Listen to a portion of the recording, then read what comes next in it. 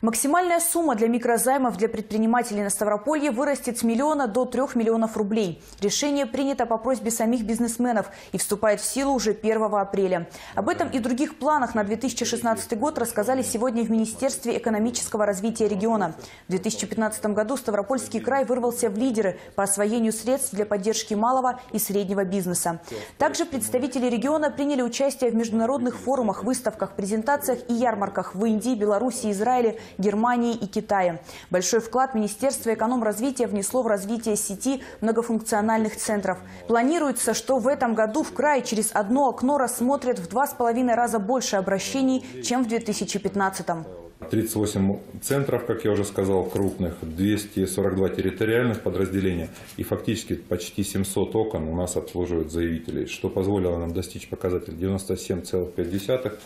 Э, Перевыполнили мы эти показатели. Надеемся, что граждане оценят эту работу.